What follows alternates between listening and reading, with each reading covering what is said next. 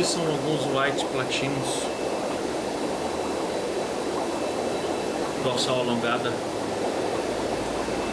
Eles vieram do criador Simeon Boniev, que ganha na FGA nessa classe. Trouxe comigo ano passado.